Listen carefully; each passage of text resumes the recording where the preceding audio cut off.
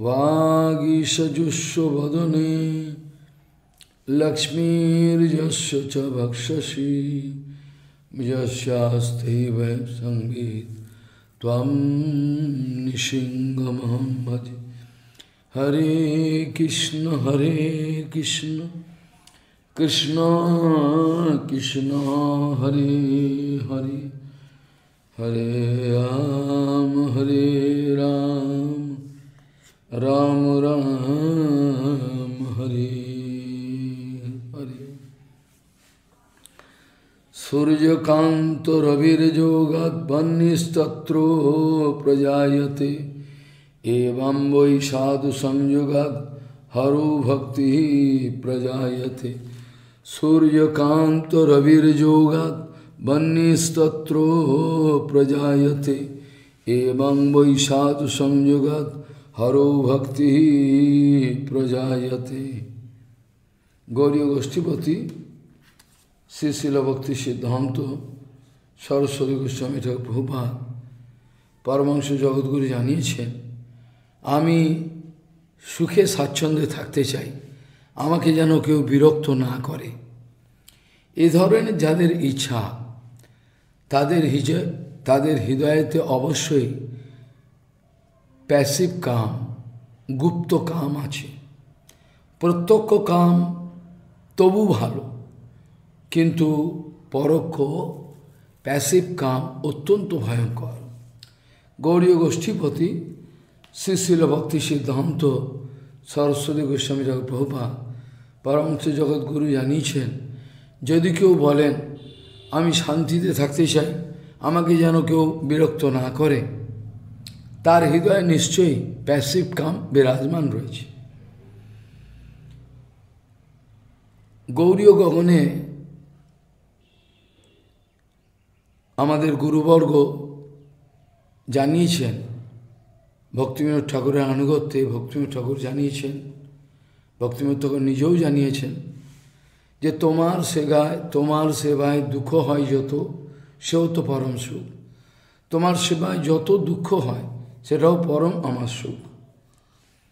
সেবা বাদ দিয়ে, সেবা বাদ দিয়ে নিজে সুখে থাকা নিজে সুখে থাকার যে চেষ্টা, সেটা কখনোই ভালো নয়। সেবা বাদ দিয়ে নিজে সুখে থাকার যে চেষ্টা, এটা কখনোই ভালো নয়, কখনোই না।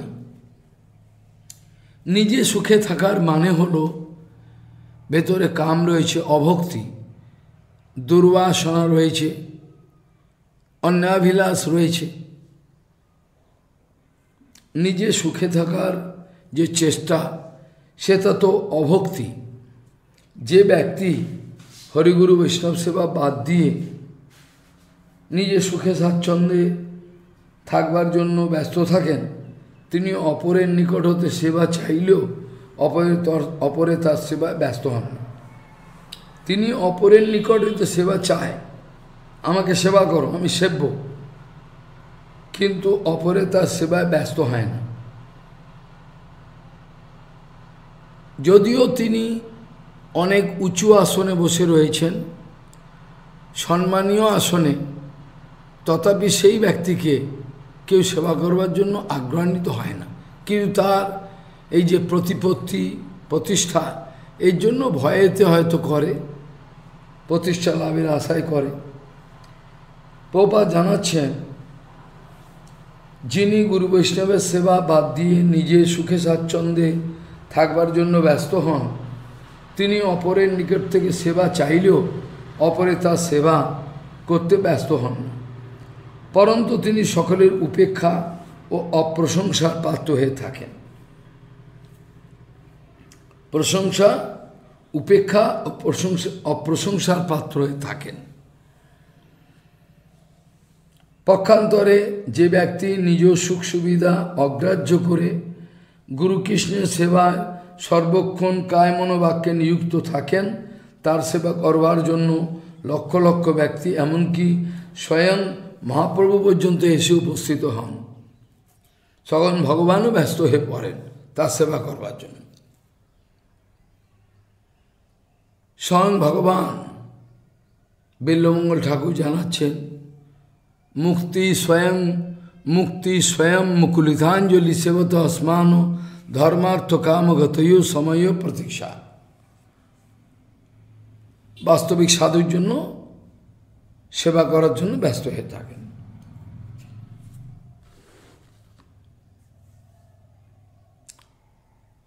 আলোচনা প্রসঙ্গে শ্রী শিল জগদানন্দ পণ্ডিত প্রভুর আনুগত্যে আমরা সে প্রেম বিবর্তের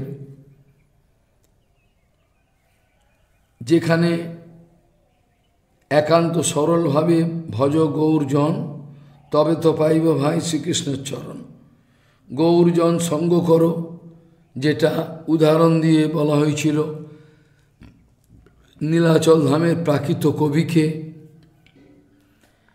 স্বরূপ গোসাই অত্যন্ত ভৎসনা করেছিলেন এবং বলেছিলেন, গৌরাঙ্গের ভক্তগণের নিত্যকর সঙ্গ তবে তো জানিবা সিদ্ধান্ত তরঙ্গ, সিদ্ধান্ত তবেই জানতে পারবে। সেই জন্য জগদানন্দ পণ্ডিত জানাচ্ছেন, গৌরজন সঙ্গ করো, গৌরাঙ্গ বলিয়া, হরে কৃষ্ণ নাম বলো, নাচিয়া নাচিয়া।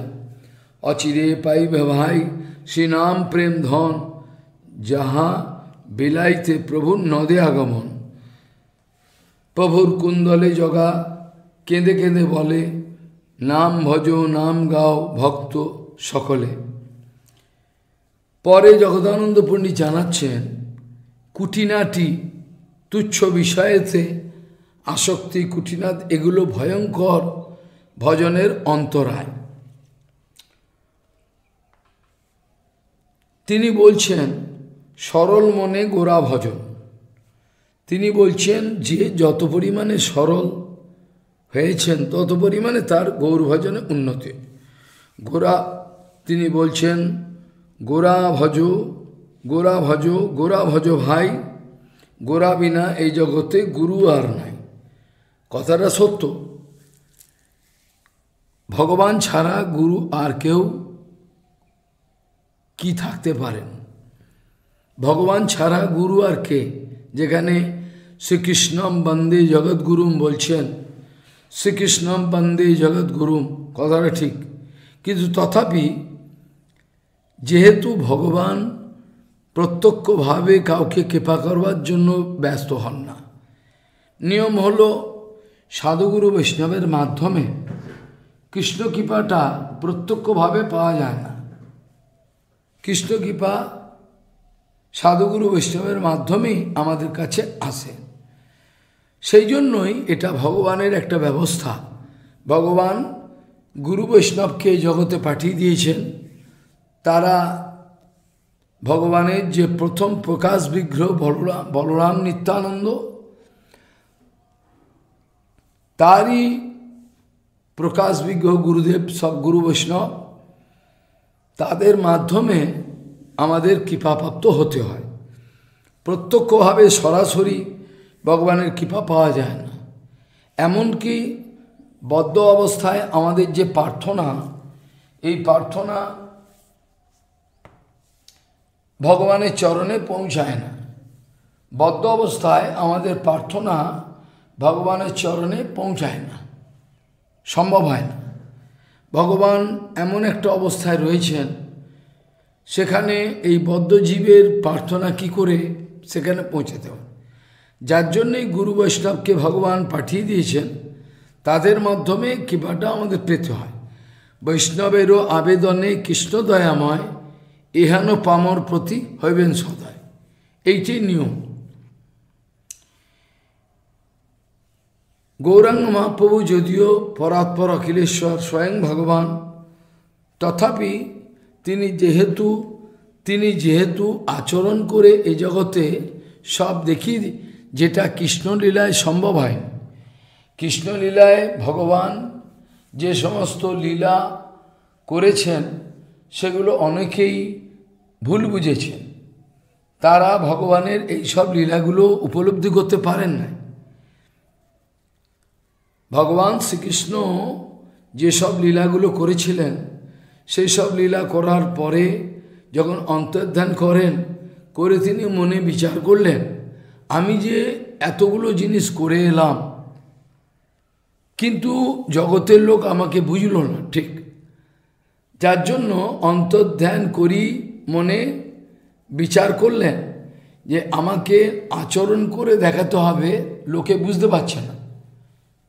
আমি যখন বলছি মনমনা ভব মদিজাজিমাং নমস্কুরু। তারা বলছে এ তো সবাই বলে। আমার পূজা করো, আমাকে ভালোবাস সবই, সবাই বলে। এ কথা তো সবাই বলে। তারা বুঝতে পারল না। যার জন্য গৌরাঙ্গ মহাপ্রভুর অবতারটাকে বলা হয় যে, কৃষ্ণ লীলার কৃষ্ণ লীলার কৃষ্ণ লীলার সম্যক ব্যাখ্যা। কৃষ্ণ লীলাতে তিনি যা যা করেছেন তার একটা বিস্তৃত ব্যাখ্যা হলো এই গৌরলীলা। যার জন্য গৌরলীলাতে যদিও তিনি স্বয়ং ভগবান, তথাপি তিনি যেহেতু আচরণ করে দেখাচ্ছেন গুরুর মতো, সেই জন্য তাকে জগদানন্দ পণ্ডিত গুরু গুরু তো বটেই ভগবান ভগবান থেকে গুরু হয়। কিন্তু তথাপি মন্ত্র দেওয়া, গুরুর কাজ করা যেটা উদ্ধবের ক্ষেত্রেও করেছিলেন, উপদেশ করেছিলেন, অর্জুনের ক্ষেত্র অর্জুন বলছেন, স্বাধি স্বাধি মাম তাম প্রপন্যম।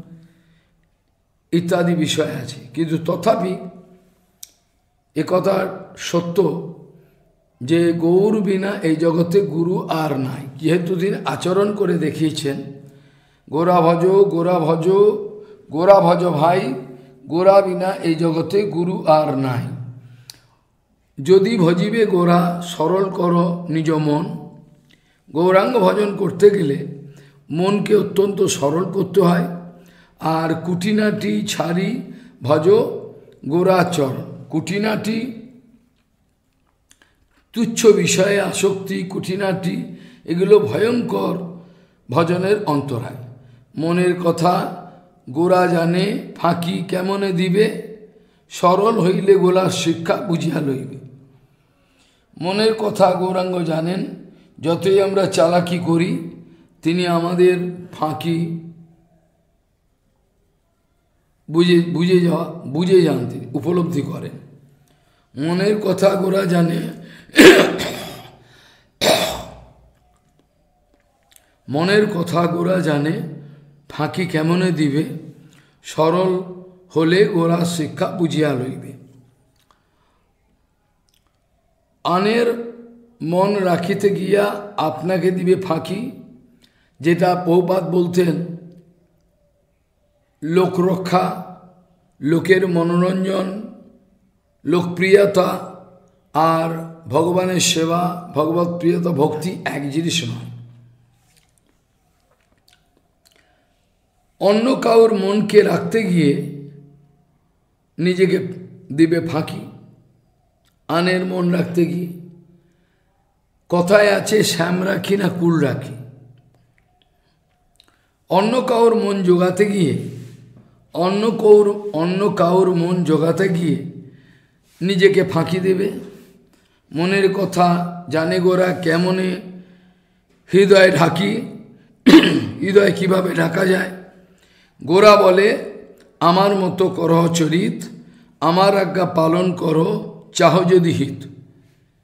গৌরাঙ্গ মহাপ্রভু যদিও প্রত্যক্ষ এরকমভাবে বলেন নাই, আমার কথা মানো। তিনি আচরণ করে দেখিয়েছেন, আচরণের মহাশক্তি আছে।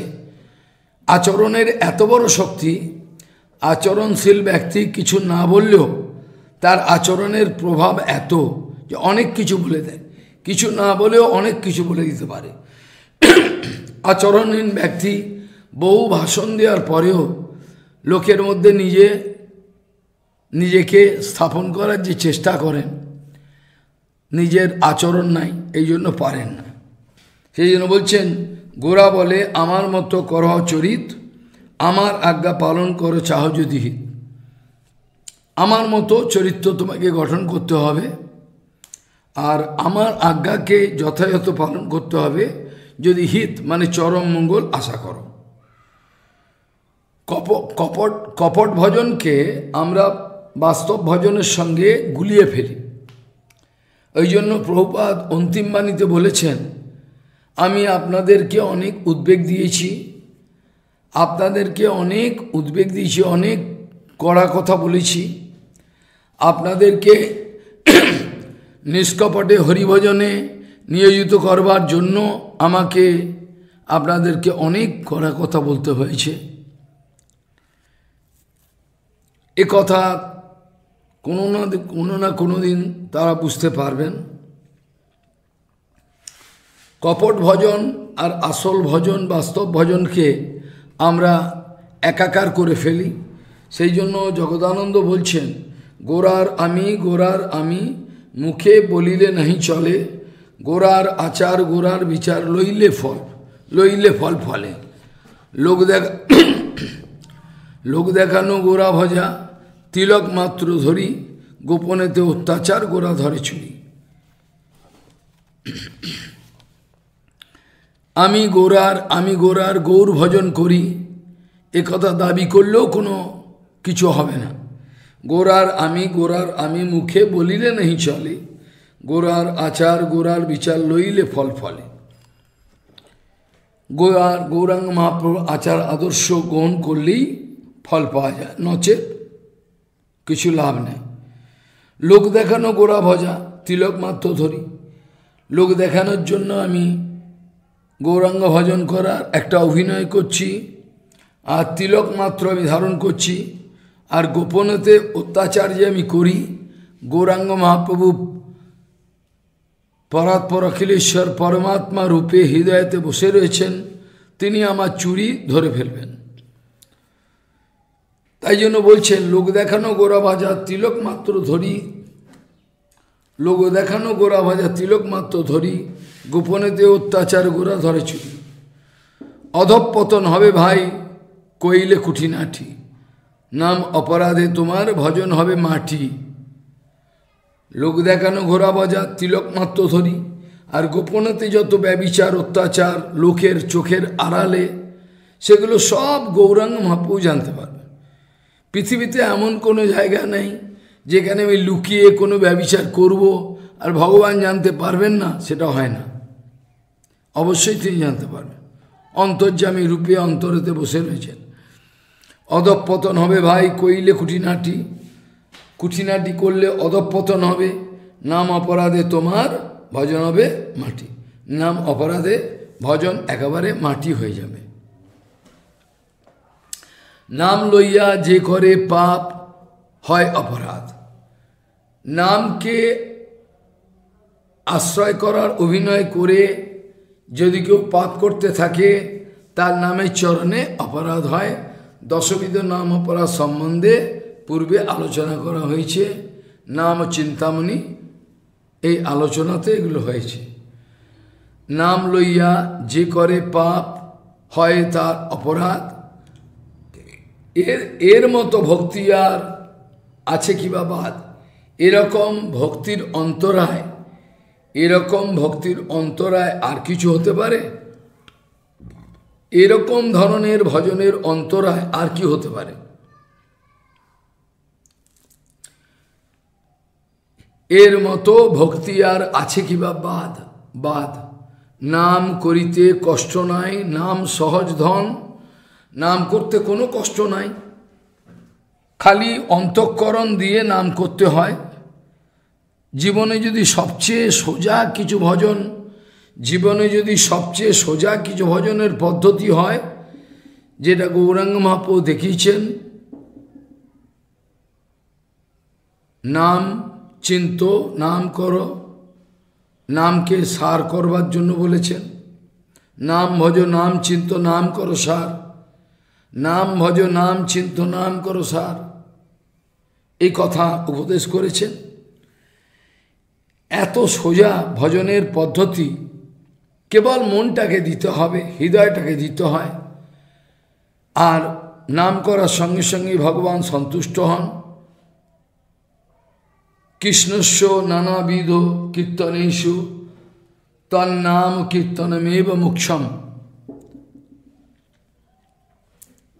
ভগবানের নানাবিধ ভগবানের নানাবিধ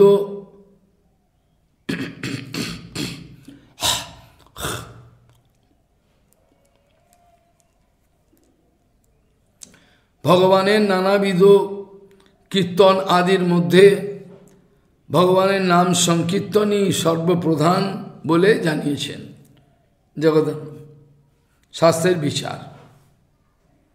কাজেই নাম লইয়া যে করে পাপ, হয় অপরাধ। এর মতো ভক্তি আর আছে কিবা বাদ? নাম করিতে কষ্ট নাই, নাম সহজ ধন। অষ্টস্পন্দন মাত্র হয় নামের কীর্তন। অষ্টস্পন্দন হলেই নামের কীর্তন হয়। তাতেও না হয় যদি হয় নামে স্মরণ। তাহাও না হয় যদি হয় নামে স্মরণ। যদি অষ্টস্পন্দনও না হতে পারে। তথাপি নামে স্মরণ তো হবে মনে মনে করলে। তুণ্ডবন্ধে চিত্তভ্রংশে শবন্তবু হয়। যদি আমি তুণ্ড বন্ধ করে নাম করি হ্যাঁ শোভন্তবু হয় চিত্ত। সর্বপাপ ক্ষয়ে জীবের মুখ্য ফলদয়। সর্বপাপ ক্ষয়ে জীবের মুখ্য ফলদয়। বহু জন্ম অর্চনেতে এই ফল ধর বলছেন, তুণ্ডবন্ধে চিত্ত ভ্রংশে শোভন্তবু হয়। হুম? শোভন্তবু হয়, যে কোনোভাবে আর সর্বপাপ ক্ষয়ে জীবের মুখ্য ফলদয়। নাম করতে করতে যখন সমস্ত পাপ ক্ষয় হবে, তখন জীবের যে মুখ্য ফলদয় অর্থাৎ কৃষ্ণচরণে ভক্তি, কৃষ্ণচরণে প্রেম, এটা দেখা যায়। বহু জন্ম অর্চনাতে এই ফল ধরে। নাম কাহুর জীবনে ফল দেবেন কি করে? বলছেন, বহু নাম জন্ম নামান্তে হ্যাঁ জ্ঞানবানম মাম প্রবদ্ধতে। এইসব কথা বলছেন। বহু জন্ম যদি যেন জন্ম শতৈর পূর্বম বসুদেব সমর্চিতম, তন্মুখে হরিনামানি তিষ্ঠতি। বহু বহু জন্ম ধরে যে বসুদেবকে অর্চন করেছেন, তার মুখেই এই কৃষ্ণনাম নিরন্তর জাগরুক হবে, নিরন্তর ফল দেবে। কৃষ্ণনাম বলছেন বহু জন্ম অর্চনেতে এই ফল ধরে। বহু জন্ম যদি অর্চন করা হয়, তবে এই ফল ধরে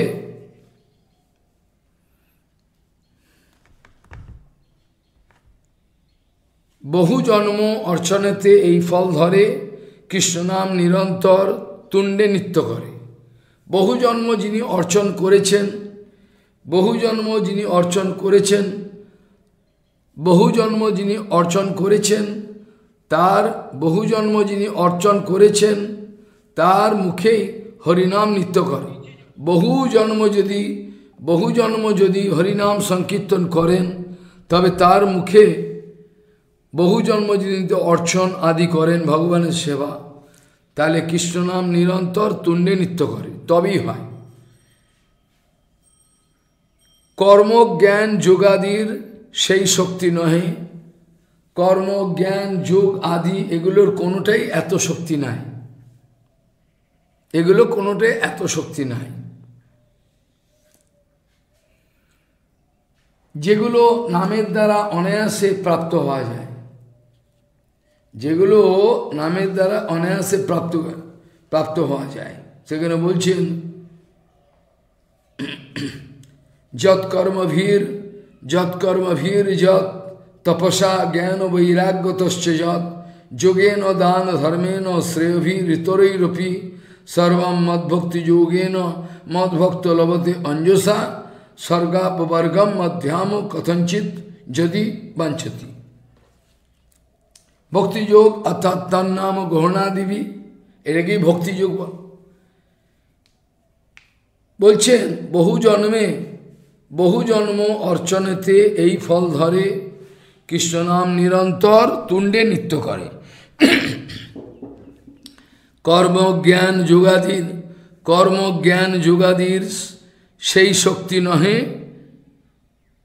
কর্মজ্ঞান যুগাদির সেই শক্তি নেই। বিধিভঙ্গ দোষে বিধিভঙ্গ দোষে ফলহীন শাস্ত্র কয়। কর্মজ্ঞান যোগাদিতে যে নিয়ম, যে সমস্ত কঠোর ব্যবস্থা আছে, সেগুলো অতিক্রমণ হলে কোনো বিধিভঙ্গে ফলহীন স্বাস্থ্য বলে। শুধু ফলহীন নয়, বিপরীত ফলও দিতে পারে। বিপরীত ফলও দিতে পারে। তাই জন্য বলছেন, কর্মজ্ঞান যোগাদির কর্মজ্ঞান যোগাদির সেই শক্তি নহে, বিধিভঙ্গ যদি হয় কর্মজ্ঞান যোগেতে কোনো বিধিভঙ্গ যদি হয়, ফলহীন হয়ে যাবে, কোনো ফল পাওয়া যায় না। শুধু তাই নয়, বিপরীত ফলও হতে পারে।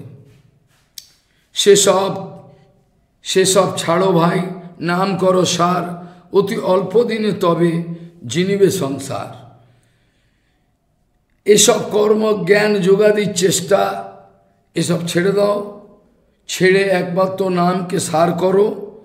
অতি অল্প দিনের মধ্যে তুমি সংসারকে জয় করতে পারবে।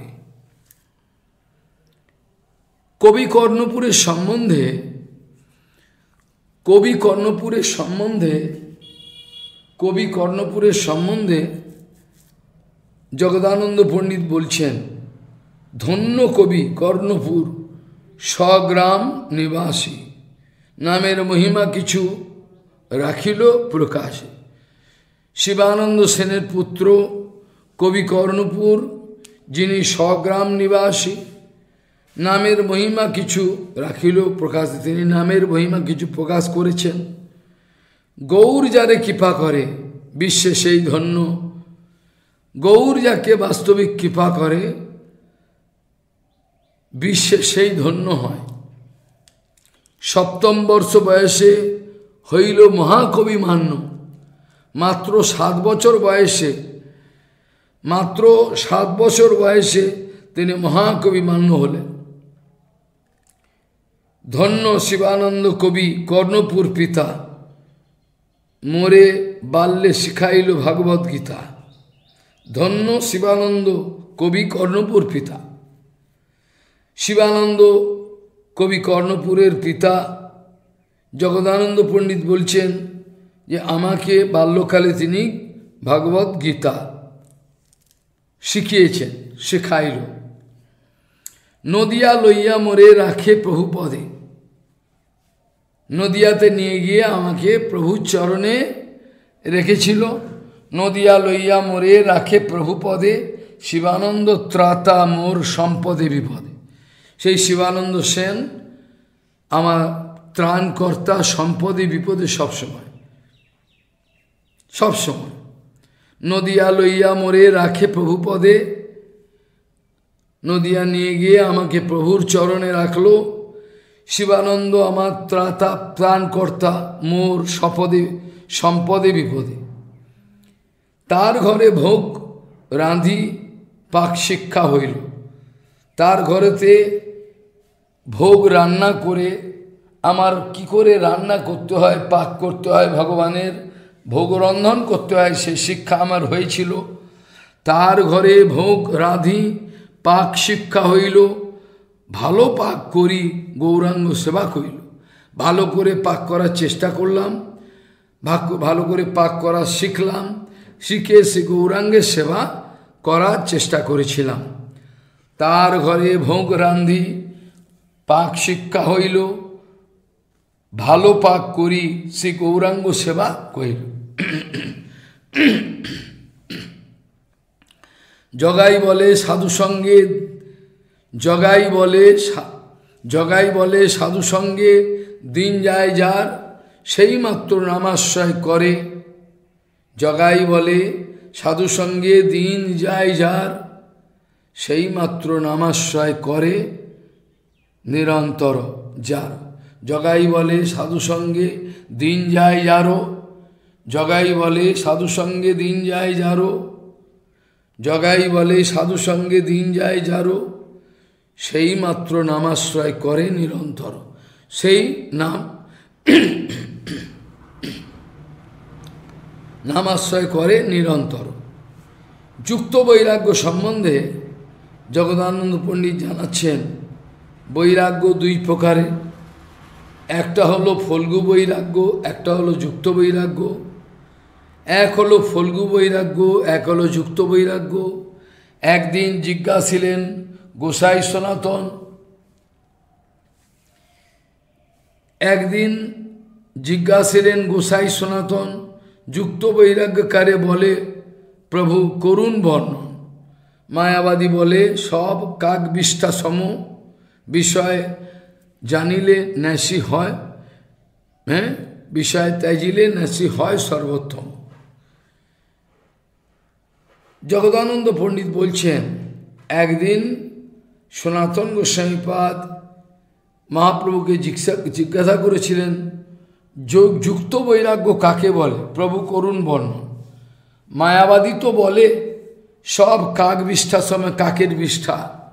আর বিষয় ত্যাজিলে সব বিষয় ছাড়লে পরে তাহলে ন্যাসি হয় সর্বোত্তম, সর্বশ্রেষ্ঠ ন্যাসি হয়। সর্বশ্রেষ্ঠ? হ্যাঁ সেখানে মায়াবাদীরা এই কথা বলেন যে বিষয়ে যদি সম্মুখরূপে ত্যাগ করা যায় কৌবিন কৌপিন বন্তম খোলো ভাগ্যবন্তম কৌপিন বলছেন কৌপিন আশ্রয় করে বিষয়কে যা ত্যাগ করবেন, সব সর্বোত্তম তাকে বলা হবে। বিষয় ত্যাজিলে ন্যাসি হয় সর্বোত্তম।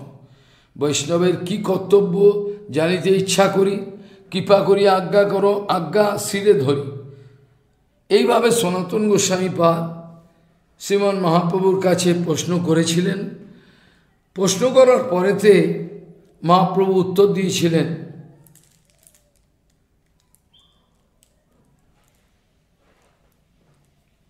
মহাপ্রভু উত্তর দিয়েছিলেন, বৈরাগ্য হয় দুই প্রকার দুইত প্রকার।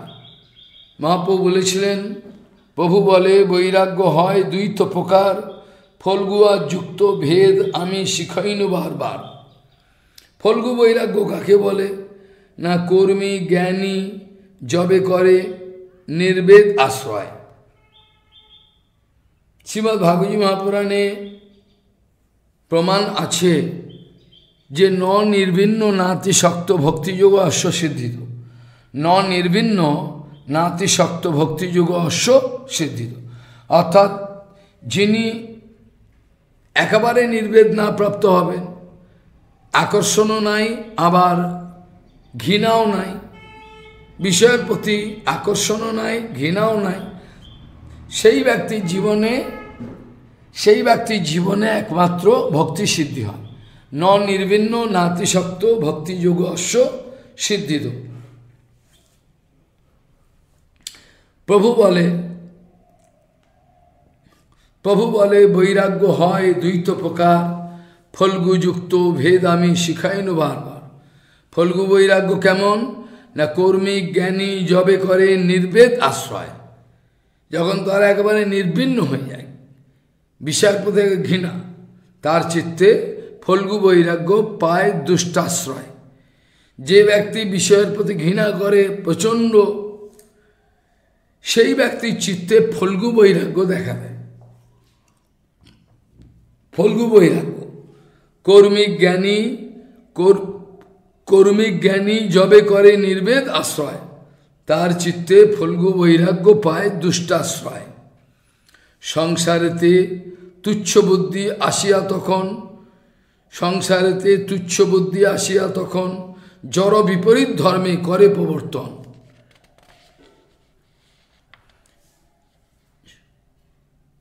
সংসারেতে তুচ্ছ বুদ্ধি এসে যায় আর জ্বরের বিপরীত ধর্মে করে প্রবর্তন। অর্থাৎ সেটাকে প্রায় নির্বিশেষ যে ভগবানের স্বরূপ তাতে মিলে, অর্থাৎ নিজেকে চিন্মাত্রবাদ যেটাকে বলে। ব্রহ্ম। আর এখানে নিজের চিৎ সত্তাটাকে বিনাশ করে দেওয়ার চেষ্টা। এটাকে বলে প্রপাত বলছেন ত্রিপুটি নাশ নিজের চিৎ সত্তাটা, স্বাধীন সত্তাটা, যা কিছু আছে এটাকে ত্রিপুটি ত্রিপুটি নাশ বলে। কৃষ্ণ সেবা, সাধু সেবা, আত্মরসাস্বাদ জড় কৃষ্ণ সেবা, সাধু সেবা, আত্মরসাস্বাদ, জড় বিপরীত ধর্মে পায় নিতন্ত অবসাদ। আমাদের যে কৃষ্ণ সেবা, সাধু সেবা, আত্মরসাস্বাদ, এ, জড় বিপরীত ধর্মে পায় নিতন্ত অবসাদ। কিছুই আর ভালো লাগে না তখন। জড় বিপ জ্বরের অর্থাৎ হ্যাঁ ধর্মে পায় নিতান্ত অবসাদ। অর্থাৎ জ্বরের জ্বরের যেমন কোনো স্বাধীনতা থাকে না, জ্বরের কোনো স্বাধীনতা থাকে না। এই জ্বরের বিপরীত যে, অর্থাৎ পরম চিত চিন্ময় অবস্থা, অর্থাৎ আমরা যখন জীবের যখন স্বরূপ উপলব্ধি হয়, তখন কৃষ্ণ সেবা সাধু সেবা আত্মরসাস্বাদ এগুলো হয়ে থাকে। জড়েতে তা হয় না। কাজেই সেই সব বিষয়েতে তাদের অবসাদ হয়। তারা ভগবানের নিত্যস্বরূপ মানে না নিত্য সেবা মানে না, কোনো কিছুই তারা মেনে নিতে পারে না। ফলগু বৈরাগীর মন সদা শুষ্ক রসহীন ফুলগো, ফলগু বৈরাগীর মনটা সদা শুষ্ক রসহীন হয়ে যায়। নাম, রূপ, গুণ, লীলা না হয় সমীচীন। তাদের হৃদয়তে কোনো রস আস্বাদন হয় না। তারা নাম, রূপ, গুণ, লীলা তাদের কোনোটাই কিছু ভালো লাগে না। তারা বুঝতে পারে না। তাহলে ফল্গু বৈরাগ্য একে বলে। যুক্ত বৈরাগ্য, যুক্ত বৈরাগীর ভক্তি হয়তো সুলভ। যিনি যুক্ত বৈরাগ্যকে আশ্রয় করেন, যেটা সর্বভট্টাচার্য বলেছেন বৈরাগ্য বিদ্যা নিজ ভক্তি যৌগ, শিক্ষার্থমেকম পুরুষ পুরাণ। এখানে বৈরাগ্যকে বিদ্যা বলা হয়েছে। বৈরাগ্য তখন বিদ্যা। যখন বৈরাগ্য ভক্তির অনুকূল, যখন বৈরাগ্য ভক্তির অনুকূল, তখন বৈরাগ্যকে বলা হয় বিদ্যা। আর যখন ভক্তির প্রতিকূল, শুষ্ক বৈরাগ্য, সেটাকে বলা হয় অবিদ্যা। যুক্ত বৈরাগ্যের ভয়, যুক্ত বৈরাগ্যের ভক্তি হয়তো সুলভ। যিনি যুক্ত বৈরাগী, তার ভক্তি সুলভ হয়। আর কৃষ্ণ ভক্তি পুত বিষয়েতে তার তার পুত বিষয়ে তার ঘটে সব। কৃষ্ণ ভক্তির অনুকূলে যা কিছু, সেগুলো তিনি কৃষ্ণ ভক্তিতে কৃষ্ণ ভক্তির অনুকূলে লাগিয়ে তিনি পরম আনন্দেতে ভক্তিতে বিরাজমান থাকেন। শিল যুধিষ্ঠির মহারাজের, শিল যুধিষ্ঠির মহারাজের রাজপাট শিল যুধিষ্ঠির মহারাজের রাজপাট রাষ্ট্রীয় যোগ্যকরণ একচ্ছত্ব অধিপত্য সব কিছুই ভক্তির অনুকূল। তিনি কৃষ্ণের সুখবিধানের জন্য করেছিলেন। এই জন্য যুক্ত বৈরাগীর ভক্তি হয়তো সুলভ কৃষ্ণ ভক্তি পুত, বিষয়ে তার ঘটে সব। প্রকৃতির জড়ধর্ম তার চিত্ত ছাড়ে অনায়াসে চিত আশ্রয়ে মজে শীঘ্র অপ্রাকৃত ভক্তির রসে। চিত আশ্রয়ে মজে শীঘ্র অপ্রাকৃত ভক্তির রসে। প্রকৃতির জড়ধর্ম, প্রকৃতি যে যুক্ত বৈরাগে আশ্রয় করে, প্রকৃতির যে জড়, জড়ধর্ম, প্রকৃতির যে তিন গুণের প্রভাব, এগুলো তার চিত্তকে অনায়াসে ছেড়ে দেয়। অনায়াসে ছেড়ে দেন। চেতো এতৈর অনাবিদ্যম স্থিতম সত্যে প্রসিদ্ধতি চিত্তের মধ্যে আর ত্রিগুণের কোনো প্রভাব আর লক্ষিত হয় না। চিত্ত প্রসন্নতা প্রাপ্ত হয়। তাই বলছেন, প্রকৃতির জড়ধর্ম তার চিত্ত ছাড়ে। প্রকৃতির যে জড়ধর্ম, ত্রিগুণ, এগুলোও সব জড়। প্রকৃতির জড়ধর্ম তার চিত্ত ছাড়ে।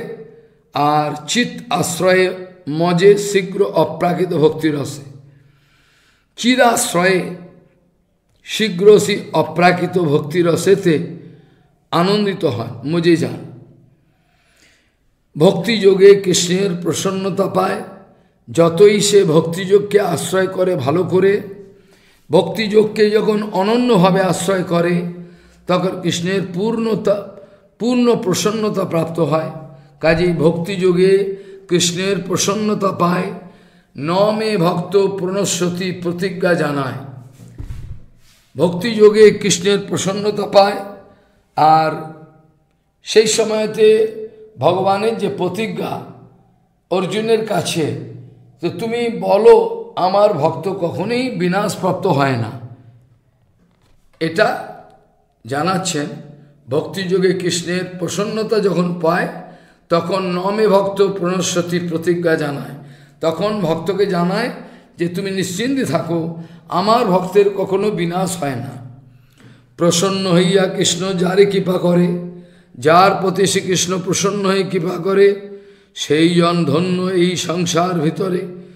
যাকে কৃষ্ণ প্রসন্ন হয়ে কৃপা করেন, সেই জন ধন্য এই সংসার ভিতরে তিনি ধন্য হন। গোলকের পরম ভাব তার চিত্তে স্ফোরে। গোলকের যে অদ্ভুত, গোলকের যে অদ্ভুত গুপ্ত ভাব সমূহ এরা চিত্তেতে পরিস্ফুট হয়। গোলকের পরম ভাব তার চিত্তে স্ফুরে। গোকুলে গোলক পায়, মায়া পড়ে দূরে।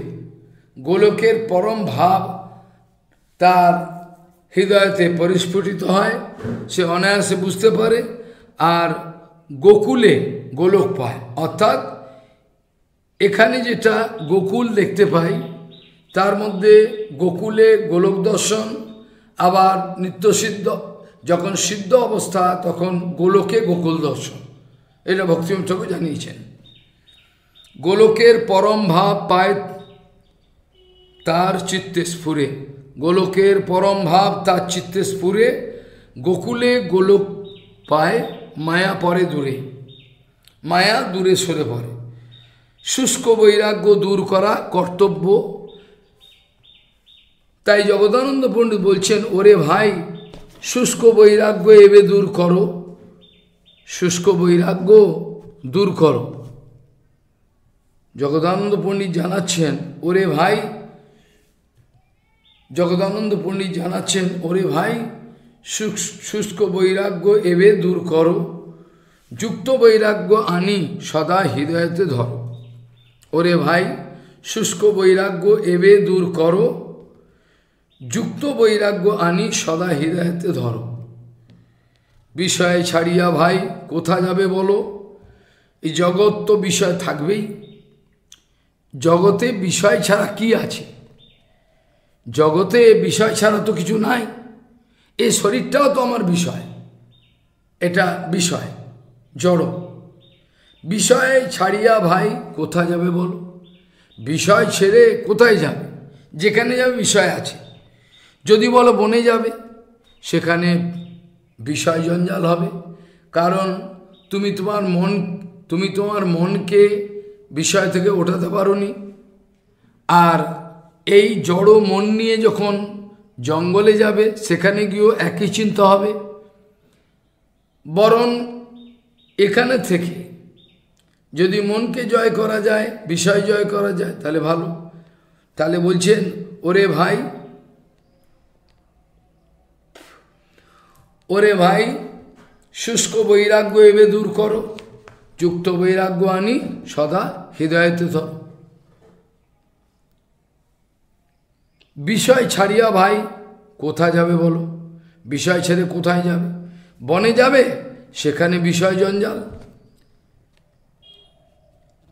তোমার পেট, তোমার জড়, মন সব তোমার সঙ্গে যাবে। পেট তোমার সঙ্গে যাবে দেহের রক্ষণে। কত ঠেলা হবে তা ভেবে দেখো মনে। তাহলে তোমার জড়, মন, বুদ্ধি সবই তোমার সঙ্গে যাবে। সর্বোপরি তোমার পেটও যাবে, সেখানেও ক্ষুধা, তৃষ্ণা, এগুলো থাকবে। পেট তোমার সঙ্গে যাবে দেহের রক্ষণে। কত ঠেলা হবে তাহা ভেবে দেখো মনে। অকারণে জীবনে শীঘ্র হবে ক্ষয়। শীঘ্র অকারণে জীবনের ক্ষয় হয়ে যাবে। এ শরীরটাকে ভোগের উপকরণ। এ শরীরটাকে ভোগের উপকরণ না ভেবে এ শরীরটাকে যদি সেবার একটা উপকরণ ভাবতে পারি বুঝে নিতে পারি। তাহলে মঙ্গল। এ শরীরটাকে ভোগের উপকরণ না ভেবে যদি সেবার উপকরণ হিসাবে গ্রহণ করতে পারি, তাহলে চরম মঙ্গল হবে। কাজে অকারণে জীবনের শীঘ্র হবে ক্ষয়। অকারণে জীবনে শীঘ্র হবে ক্ষয়। আর ক্ষয় হয়ে গেলে ভজন তো হবে না। মরিলে কেমনে আর মায়া করবে জয়? যদি মরেই যাও, তাহলে মায়া জয় মায়া জয় তো হল না। ভগবত ভজন তো দূরের কথা। সামান্য মায়াকে জয় করাও হলো না। কেন মায়া জয় করা তুমি মরে গেলে? মায়া জয় করার আগেই তো মরে গেলে। তা তো মায়া জয় করা হলো না। এই জন্য প্রবাদ বলতেন, আমরা জন্ম জন্ম, আমরা জন্মর পর জন্ম, আমরা জন্ম জন্ম যদি কেবল মায়া কাটাবার জন্য ব্যয় করে ফেলি। অনর্থ নিবৃত্তি। প্রবাদ বলছেন, যদি আমরা কেবল আমাদের জীবনে জন্ম জন্ম অনর্থ নিবৃত্তির জন্য ব্যয় করে ফেলি, অর্থ প্রবৃত্তি কবে পাব? যদি আমরা জন্ম জন্ম কেবল অনর্থ নিবৃত্তির জন্যই ব্যয় করে ফেলি, তাহলে আমার অর্থ প্রবৃত্তি কবে পাব? তাই জগনানন্দ জগদানন্দ পণ্ডিত বলছেন,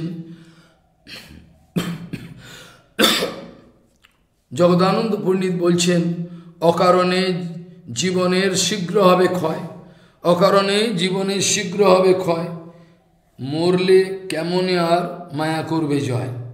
তুমি যদি মরেই যাও, তাহলে তো ভক্তি ভজনের কথা তো দূরের কথা, মায়াটাই তো জয় করতে পারলে না, তাহলে আবার তো জন্ম, মায়াটাই জয় হলো না। তা মায়া জয় হলে পরে তবে হরিভজন শুরু হয়। মায়া যায়, মায়া জয় হওয়ার পর, অর্থাৎ অনর্থ নিবৃত্তির পর, হরিভজন শুরু হয়। সেটাই হলো না, কোনো কিছুই হলো না। তাই যে অকারণে জীবনের শীঘ্র হবে ক্ষয় মরিলে কেমনে আর মায়া করবে জয়? তুমি যদি মরেই যাও, তো মায়াটা কে করবে জয়? এই শরীর থাকতে থাকতে করতে হয়। এ শরীর থাকতে থাকতে সব কিছু করতে হয়। যদিও না মরো, যদি বলে যদি নাও মরতে পারি, যদিও না মরো, তবু হবে দুর্বল তো হবে। হয়তো মরলে না, কিন্তু দুর্বল হলো। আর দুর্বল হলে দুর্বল হলে জ্ঞান নাশ হয়ে যাবে। কলিকালের লোকের অন্নগত প্রাণ, কিছু মনে পড়ে না। অন্নগত প্রাণ। তা নাহলে সব শেষ। যদিও না মরো, যদিও না মরো, তবু হই হই, হইবে দুর্বল। আর জ্ঞান নাশ হইলে কোথা জ্ঞানের সম্বল? জ্ঞান যদি নাশই হয়ে যায় কেন ভগবান শ্রীকৃষ্ণ উদ্ধবকে বলেছেন, বৈরাগ্য অনেকে করতে চায়, কিন্তু বৈরাগ্য করতে গিয়ে অনেকের বিপদ হয়। সহ্য করতে পারে না। লাস্টে পা আমরা আমাদের জীবনে দেখেছি কঠোর বৈরাগ্য করতে গিয়ে লাস্টে পাগল হয়ে গেল। অর্থাৎ যে পর্যন্ত তার ক্ষমতা আছে, তার বাইরে করতে গেছে, গিয়ে সব শেষ। পাগল, উন্মাদ, বদ্ধ উন্মাদ। কাজে বলছেন, যদিও না মরো, তবু হবে দুর্বল, আর জ্ঞান নাশ হইলে কোথা জ্ঞানের সম্বল। সুতরাং যুক্ত বৈরাগ্যটাই হচ্ছে, সুতরাং যুক্ত বৈরাগ্যটাই হচ্ছে কর্তব্য। সুতরাং যুক্ত বৈরাগ্যটাই হচ্ছে কর্তব্য।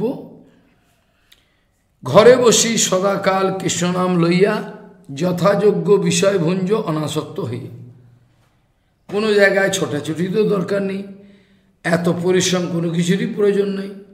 ঘরে বসি সদাকাল কৃষ্ণনাম ল, ঘরে বসে কৃষ্ণনাম গ্রহণ করো, যথাযোগ্য বিষয়ভুঞ্জ অনাসক্ত হইয়া। ঘরে বসি সদাল ঘরে বসি সদাকাল কৃষ্ণনাম লইয়া, ঘরে বসি সদাকাল কৃষ্ণনাম লইয়া, যথাযোগ্য বিষয়ভুঞ্জ অনাসক্ত হইয়া। এখানে যথাযোগ্য কথাটার কি মানে? যথাযোগ্য শব্দ দুইটির মর্মার্থ বুঝে লও। যথাযোগ্য কাকে বলে? এর মর্মার্থ কি? এটা বুঝে নাও। সেটা কি? যথাযোগ্য বলতে তিনি বলতে চেয়েছেন যে কপটার্থ লইয়া যেন দেহ আরামে না হও। এর কপট যথাযোগ্যটা জগদানন্দ পণ্ডিত বলছেন, যথাযোগ্য শব্দটাকে যদি আমরা মিসইউজ করি, অপপ্রয়োগ, অপব্যবহার করি, তাহলে উল্টো হয়ে যাবে। অনেকেই যুক্ত বৈরাগ্যের নাম করে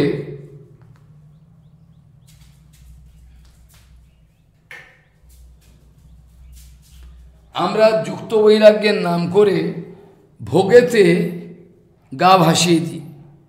আমরা বেশিরভাগ সময় বেশিরভাগ সময় যুক্ত বৈরাগ্যের নাম নিয়ে ভোগেতে গা ভাসিয়ে দিই। কেউ যদি কিছু বলে, তাহলে আমাদের যুক্ত বৈরাগ্য। আমাদের যুক্ত বৈরাগ্য। কিন্তু যুক্ত বৈরাগ্যের বিষয়টা এত গম্ভীর, এত সূক্ষ্ম যে এক চুল যদি এদিকে আসা যায়, তাহলে ভোগ হয়ে যাবে। এক চুল যদি এদিকে আসে, তাহলে যুক্ত বৈরাগ্য হবে। অত্যন্ত সূক্ষ্ম বিচার এতে অবস্থিত হওয়া বদ্ধজীবের অনেক সময় উল্টো পথে চলে যান বদ্ধজীব। কাজে বলছেন, ঘরে বসি সদা কাল কৃষ্ণনাম লইয়া যথাযোগ্য বিষয়ভুঞ্জ অনাসক্ত হই। যথাযোগ্য বিষয়ভুঞ্জ অনাসক্ত হই। যথাযোগ্য শব্দ দুটোর অর্থ মর্ম বুঝে নেওয়ার চেষ্টা করতে বলছেন। যথাযোগ্য মানে কি, এটাকে বোঝাবার চেষ্টা করছেন। আমরা যদি কপট অর্থ লইয়া দেহরামী জগদানন্দ পণ্ডিত বলছেন, এই কপটার্থ, কপট অর্থটা গ্রহণ করে দেহ আরামী না হও। কারণ আমরা যদি কপটার্থে ব্যবহার করি, যুক্ত বৈরাগ্যের নাম করে ভোগেতে গা ভাসিয়ে দিই, সেটাতে সর্বনাশ হবে। বলছেন, কপটার্থ না লইয়া দেহ আরামী না হও। শুদ্ধ ভক্তির অনুকূল কর অঙ্গীকার। ভক্তি অনুকূল মাত্র কার্যের শিকার। ভক্তি প্রতিকূল ভাব বর্জমন্দিকার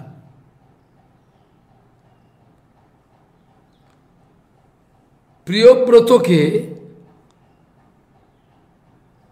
ব্রহ্মা প্রিয়ব্রতকে প্রিয়ব্রত মনুপুত্র মনুর পুত্র মনুর পিতা হল ব্রহ্মা।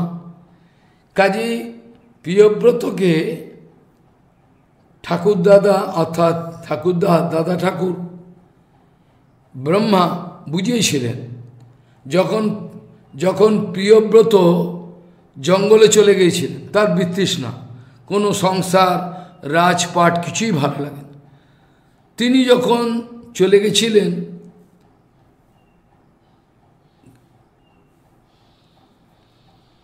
গুহা একটি পর্বতের গুহা আশ্রয় করে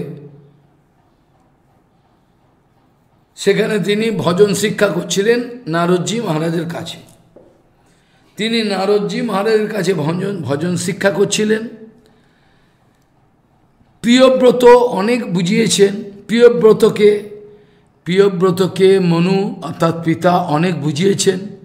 কিন্তু সে কিছুই, কিছুতেই বিষয়তে ফিরে আসবেন না। কিছুতেই তিনি আসবেন না। সেই সময় কি হলো? মনু পিতাশ্রী ব্রহ্মাকে বললেন, প্রিয়ব্রত, রাজপাট কোনো কিছু গ্রহণ করবে না। আপনি দয়া করে আসুন, এসে তাকে বুঝিয়ে যেন ফিরে আসে। সে চলে গেছে জঙ্গলে। গন্ধ, গন্ধমাদন পর্বতকে আশ্রয় করে গুফাতে নারদজির কাছে এবার তিনি ভজন শিক্ষা করছেন। পিতামহ ব্রহ্মা তাকে ফিরিয়ে নেওয়ার জন্য সেখানে এলেন। সবাই তাকে দেখে উঠে দাঁড়াল। নারদজি মহারাজ এবং প্রিয়পতি যারা ছিলেন এবং সঙ্গে তো মনুও ছিলেন, মনু মহারাজও ছিলেন। অনেক বোঝালেন, দেখো বাবা, আমি, শঙ্কর আদি যত লোক যারা আছেন আরও যারা লোকপাল আমার যে সৃষ্টির দায়িত্ব এগুলো ভগবানের আদেশ। এবং এই ভগবানের আদেশ পালন করার জন্যই আমি এই সৃষ্টির কর্তা, আমি এগুলো সব করে থাকি। আমি, শঙ্কর, কেবি, আমরা ভগবানের আদেশকে উল্লঙ্ঘন করতে পারি না। সম্ভব নয়। কাজেই তুমি যদি তোমার পিতাও তাই। ভগবানের আদেশে আমরা পালন করছি, আমাদের নিজস্ব কোনো কথা নেই। তুমি যদি সংসারে ফিরে আসো, তাতে অসুবিধেটা কোথায়? তুমি কি মনে করো যে এতে তোমার কোনো ভজন আদি হবে না? এটা তো ভুল কথা। কারণ ব্রহ্মা যুক্তি দিচ্ছেন, ব্রহ্মা বোঝাচ্ছেন ভয়ম প্রমত্তস্য বনেশু পিসাদ যত আস্তে সহসট পত্না। বলছেন, ভয়ম প্রমত্তস্য বনেশু পিসাদ প্রমত্ত ব্যক্তির বনে গিয়েও ভয়। প্রমত্ত ব্যক্তির বনে গিয়েও নিস্তার নাই বনে গিয়েও ভয়। কারণ, ভয়ম প্রমত্তস্য বনেশু পিসাদ বনেতেও সেই বিপদ আছে। কেন সে যথাশাস্তে সহসট পাতনা? ছয় বিপত্নী ছয় বিপত্নী, ছয় বিপত্নীর সঙ্গে সে রয়েছে। কাম, ক্রোধ, লোভ, মোহ, মদ, মাশ্চর্য আদি সব সরবর্গ এ ভয়ঙ্কর। এর সঙ্গে যতদিন থাকবে, ততদিন বিপদ তো আছেই আছে। বরং যদি উল্টো হয়, অর্থাৎ তুমি সংসার মনকে জয় করে, সমস্ত কিছু করে, মানুষ সরবর্গের বশ। এর বাইরে যেতে পারে না। যদি তুমি সংসারটাকে জয় করে এই সংসারের মধ্যে থাকো, তাহলে ভয়টা কোথায়? ভয়ম প্রমত্তস্য বনেশু বিষাদ, ইয়ত আস্তে সহসটপত্না জিতেন্দ্রিয়স্ব আত্মরথের বুধস্য সংসার বন্ধন কিম্নু করতি অবত্যাম যদি জিতেন্দ্রিয় হতে পারো, আত্মরতিবান হতে পারো, যদি জিতেন্দ্রিয় হতে পারো, যদি আত্মরতি সম্পন্ন হতে পারো, তাহলে তোমার তো এখানে থেকেও কোনো বিপদ হতে পারে না। সংসার জয় করে যদি সংসারে থাকো, সংসার কি করতে পারো? আমরা জানি জনক মহারাজ সংসারে রয়েছেন, যুধিষ্ঠির মহারাজ সংসারে রয়েছেন, পৃথু মহারাজ সংসারে রয়েছেন, অম্বরীশ মহারাজ সংসারে রয়েছেন, সবাই সংসারে রয়েছেন সংসারের বাইরে কেউ জানে কিন্তু যে উদাহরণটা আগে বলা হয়েছিল, মহারাজ, নৌকা তো জলেই থাকবে। নৌকা কোথায় থাকবে? নৌকা কি ঘরে থাকবে? নৌকা কি ঘরে থাকে? নৌকা তো জলেই থাকে, তা থাকুক। কিন্তু নৌকার মধ্যে যেন জল না থাকে। নৌকা জলে থাকে, এটাই স্বাভাবিক। কিন্তু নৌকার মধ্যে যদি জল থাকে তাহলে বিপর্যয়। সেরকম আমি সংসার ছেড়ে কোথায় পালাম সংসারে তো থাকব। জঙ্গলে গেলে নিজের বদ্ধ মন, ইন্দ্রিয় সব এগুলো নিয়ে যাব। মানুষ বদ্ধজীব সর্বর্গের বশ, সেখানে গিয়েও বিপত্তি, কোনো উন্নতি কিছু হবে না।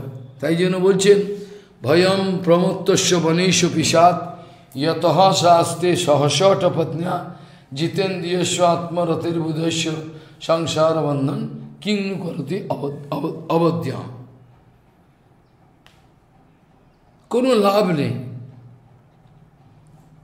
কাজেই যুক্ত বৈরাগ্যের যদি গম্ভীর রহস্য, যুক্ত বৈরাগ্যের যে গম্ভীর রহস্য, তা যদি আমাদের কাছে প্রকাশিত হয়, তাহলে আর বিপদ কোথায়?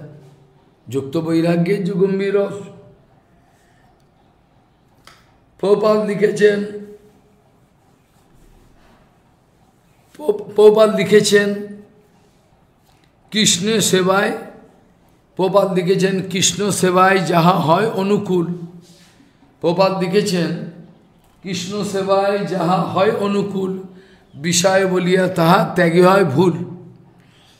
কৃষ্ণ সেবায় যাহা হয় অনুকূল। বিষয় বলিয়া তাহা ত্যাগে হয় ভুল। এটা যুক্ত বৈরাগের কথা।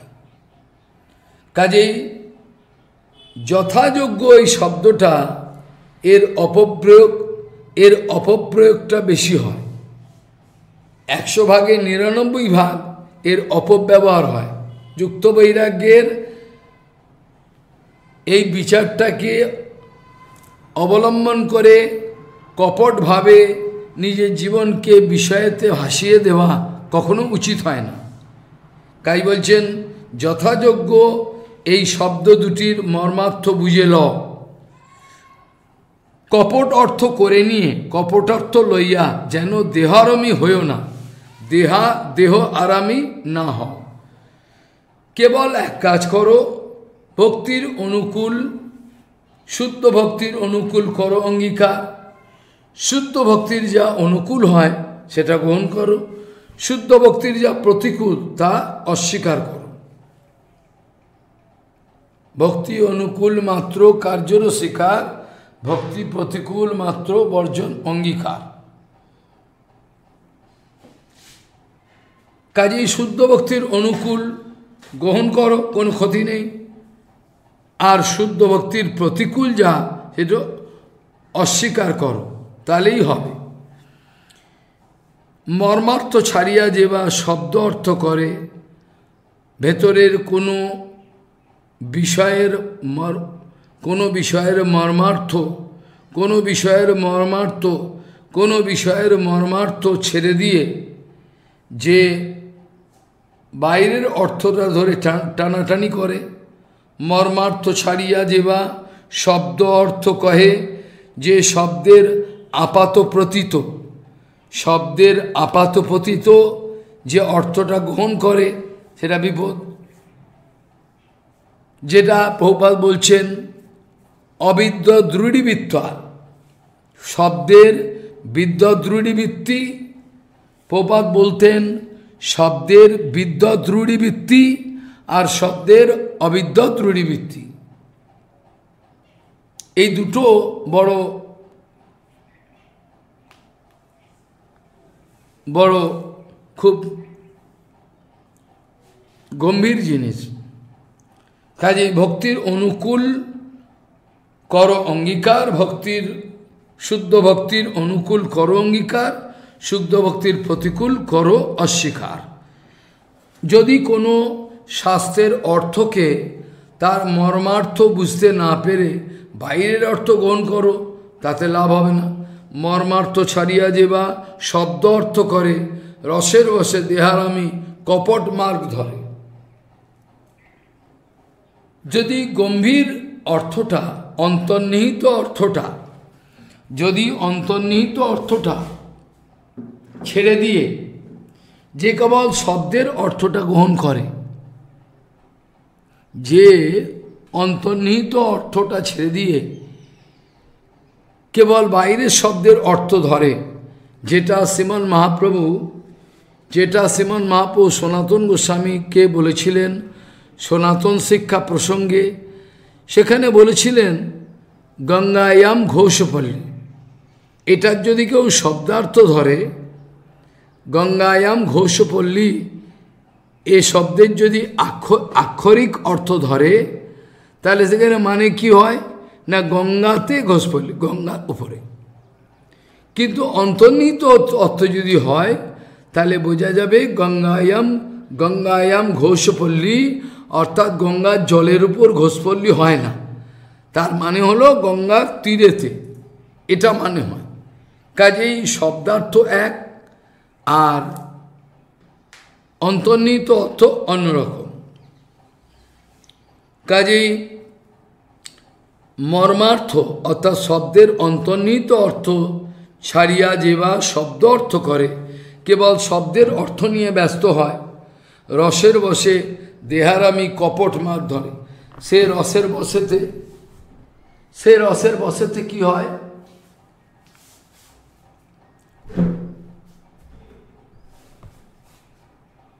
রসের বসে দেহারামি কপট মার ধরে। রসের বসেতে সে কপট মার্গ আশ্রয় করে। এটা অত্যন্ত ভয়ঙ্কর। ভালো খায়, ভালো পরে করে বহু ধনার্জন। জগদানন্দ পণ্ডিত বলছেন, কেউ ভালো খায়, ভালো পরে করে বহু ধনার্জন। যশীর সঙ্গে রত হইয়া ফিরে রাত হ্যাঁ বলছেন, ভালো খায়, ভালো পরে ভালো খায়, ভালো পরে করে বহু ধনার্জন ধনার্জন, আর যোশীর সঙ্গে রত হইয়া ফিরে রাত্রি দিন। যোশীর সঙ্গেতে রত হয়ে দিন রাত্রি যাপন করে। ভালো শয্যা, অট্টালিকা খোঁজে অর্বাচীন, দেহযাত্রার উপযোগী নিতান্ত, বলছেন ভালো শয্যা, ভালো অট্টালিকা খোঁজে অর্বাচীন দেহযাত্রার উপযোগী নিতন্ত প্রয়োজন। এরা মনে করে, এইভাবে সে বিষয় স্বীকার করে। বিষয় স্বীকার করি করো, দেহের রক্ষণ, দেহযাত্রার উপযোগী।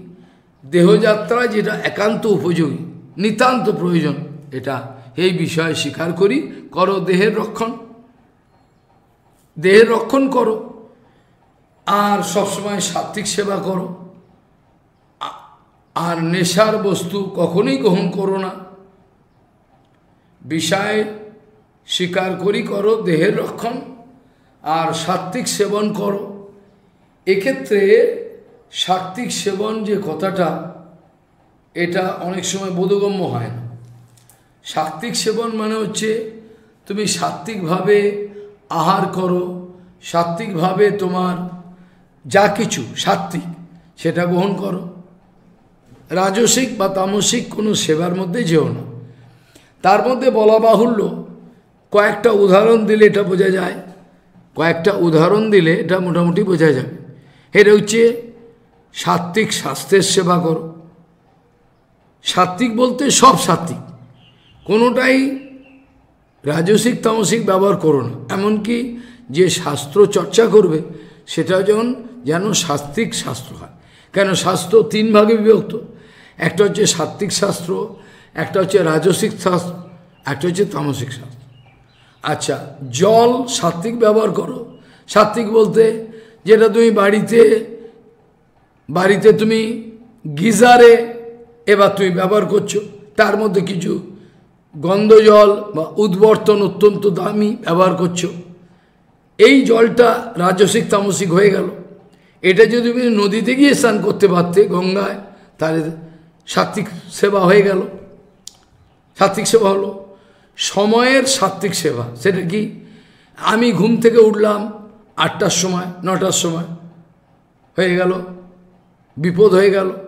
যদি সাত্বিক সময়ে সেবা করতে পারতাম, অর্থাৎ অরুণোদয়ের পূর্বে যদি আমি উঠতে পারতাম, সেটা হলো সময়ের সাত্বিক সেবা, সন্ধ্যাবন্ধনের জন্য। আর যেসব ক্রিয়াকর্ম, নিত্য নৈমিত্তিক কর্মের সেবা করলে এটা সাত্বিক সেবা হয়ে গেল। হলো কি না? পূজা করতে গেলে আমি বিষ্ণু দত্তের পূজা করলাম, তামসিক, রাজসিক কোনো পূজা করলাম না। আমি আহার করতে গেলে প্রভু দত্তে অর্থাৎ প্রভুর প্রসাদটাই প্রসাদ ভোজি কুকুর আমি, তাহলে আমার সাত্বিক সেবা হলো। এইভাবে প্রত্যেকটা বস্তু কে সাত্বিক সেবার, প্রত্যেকটা বস্তুকে সাত্বিক সেবায় নিয়ে, প্রত্যেক বস্তুকে সাত্বিক সেবায় লাগানো যেতে পারে। অর্থাৎ জগদানন্দ বলছেন বলছেন যে ভালো শয্যা, অট্টালিকা খোঁজে অর্বাচীন। যেগুলো পাগল, তারাই খোঁজে। দেখো, দেহযাত্রার উপযোগী নিতান্ত প্রয়োজন, এগুলো স্বীকার করো। বিষয় স্বীকার করি করো দেহের রক্ষণ। আর সাত্বিক সেবন করো, যেগুলো আমি কোনো রাজসিক কোনো রাজসিক, তামসিক ব্যক্তির সঙ্গে সম্বন্ধ রেখো না, কোনো রকমভাবে আর কোন রকম নেশার বস্তু আসব মানে এক কথায় আসব কথাটার এখানে বলা হয়েছে আসব। আসব মানে মদ। কিন্তু এখানে আসব মানে যত রকমের নেশা আছে, যত রকমের নেশা, সে আসব করবঞ্জ সেটা যদি নেশার বস্তুরূপে গাঞ্জা, আফিম, মদ্যপান আদি এইসব আসব বর্জন আর সর্বভূতে দয়া করি করো উচ্চ সংকীর্ত জীবে দয়া, কৃষ্ণ নাম। এইটি হলো বিরাট ব্যাপার। কৃষ্ণের সংসার করো ছাড়ি অনাচার জীবে দেয়া, কৃষ্ণ নাম এই মাত্র এই ধর্মসার কৃষ্ণের সংসার করো ছাড়ি অনাচার। জীবে দেয়া, কৃষ্ণ নাম এই মাত্র সার। তাহলে সাত্বিক সেবনের কথা বোঝা গেল মোটামুটি। আর আসব বলতে নেশার বস্তু। তারপরে সর্বভূতে দয়া করি করো উচ্চ সংকীর্তন। সর্বভূতের প্রতি যেন দয়া থাকে। যেহেতু সর্বভূতে ভগবানই বিরাজমান রয়েছেন, কোনো প্রাণীকে কষ্ট দিলে, উদ্বেগ দিলে, হত্যা করলে, কষ্ট দিলে বড় ভগবান বলছেন, যারা অন্য প্রাণীকে কষ্ট দেয়, তারা আমাকেই কষ্ট দেয়। ভগবান উদ্ধবজি মহারাজকে বলছেন, যারা অন্য প্রাণীকে কষ্ট দেয়, তারা কিন্তু আমাকেই কষ্ট দেয়। কিন্তু এক্স মিশন ওয়াই মিশন এরা কিন্তু এসব কথা পড়ে এরা ধার ধারে না। এরা ধার ধারে না। এখানে যে ভাগবতের মধ্যে মায়াবাদী, ভাগবতের ধার ধারে না। মায়াবাদী ভাগবতের ধার ধারে না। এক্স মিশন ওয়াই মিশন ভাগবতের ধার ধারে না। কেন ভাগবতের কাছে ধারে কাছে গেলে তাদের যে নোংরা সিদ্ধান্তগুলো স্থাপন করা যাবে না। ভাগবতের যদি ধারে কাছে যাওয়া যায়, তারা যে মিথ্যাবাদী, তারা যে উলঙ্গ, এটা প্রমাণিত হয়ে যাবে। তাই জন্য করেন। জীবে বলছেন, তারা কিন্তু প্রচার করবে। তারা প্রচার করে। জীবে প্রেম করে যেই জন, সেই জন করে সে বিশেষ কিন্তু দেখা গেল কি? তারা মাছ, মাংস, ডিম, ক্যাঁকড়া সব খাচ্ছেন। তারা ওগুলো আর জীব নয়। ওগুলোকে জীব বলে মনে এটা কি? এটা কি হলো? এটা হলোটা কি? এ মানেটা কি হলো এটা? মূর্খ লোক এ বিষয়ে বিচার করেন না। এই আছে ভালোই। যেটাতে নিজের সুবিধা হবে, সেইটি গ্রহণ করবে। এরা সুবিধাবাদী। কাজেই সর্বভূতে দয়া করি। জীবে প্রেম করে যেই জন বললে, কিন্তু দয়াটা কোথায় করলে? দয়াটা তো বৈষ্ণবরা করে। তোমরা কি দয়া করো? নিজের প্রতি দয়া করো আগে। পরের প্রতি পয়া পরের প্রতি পরে দয়া করবে। আগে নিজের প্রতি দয়াটা করে নাও। নিজের প্রতি অন্যায় করছ। করে নিয়ে তারপর পরের প্রতি দয়া করো। কাজেই সর্বভূতে দয়া মানে ভগবান যখন ভাগবতী মহাপুরাণে বলছেন, উদ্ধব, কোনো প্রাণী, কোনো প্রাণীকে যখন কেউ কষ্ট দেয়, সে কিন্তু প্রকৃতপক্ষে আমাকেই কষ্ট দেয়। আমাকেই কষ্ট দেয়। আমার মনে হয় ওরা কোনোদিন এইসব শাস্ত্রের আলোচনা করে নাই। তামসিক, রাজসিক শাস্ত্র আলোচনা করেছে। আর যদিও বেদান্ত আমরা আলোচনা করি, বেদান্ত আমরা আলোচনা করি বলে দাবি করে কিন্তু কি আলোচনা করে? বেদান্তের কোন জায়গাটা আলোচনা? কি বোঝে তারা? বেদান্ত যে বেদব্যাস ব্যাখ্যা করেছেন, যে বলতে চেয়েছেন, সেটা তো মানে না। তারা তো মানে না, তারা মায়াবাদ ভাষ্য মানে তাহলে আরে বেদান্তটাকে মানলেও তাদের জীবিংসা চলবে না। জীবিংসা চলে না। জীবের প্রতি দয়া মানে জীবের প্রতি দয়া মানে তাদেরকে হরিভজনে লাগিয়ে দাও। সে কোনো পশু হোক, পাখি হোক, যে কোনো কাউকে হরিভজনে লাগিয়ে দাও, এটা বলে জীব, জীবে দেয়া। জীবে দেয়া মানে অন্য কিছু নয়। কিছু এক পেট খাইয়ে দিলাম, কিছু করে দিলাম। আর জীবকে মিথ্যে কথা বললাম, জীবাত্মাকে ভুল পথে চারিত করলাম, এটা তো জীবহিংসা। ও, জগতের মানুষ এটা বোঝে না। যেটাকে জীবে দেয়া বলছে কিছু কাপড় দেওয়া, কিছু অন্ন দেওয়া, ওষুধ দেওয়া, এগুলো জীবে দেওয়া নয়। কেন? জীবটা তো দেহ নয়। ওরা জীব মানে মনে করে দেহ। দেহের সেবাটাই সব।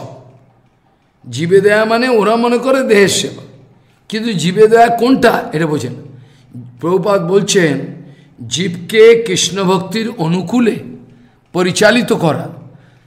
জীবকে সেবনমুখী করা, জীবকে ভগবতমুখী করা, এটাকেই বলা হচ্ছে জীবে দেওয়া বাস্তব।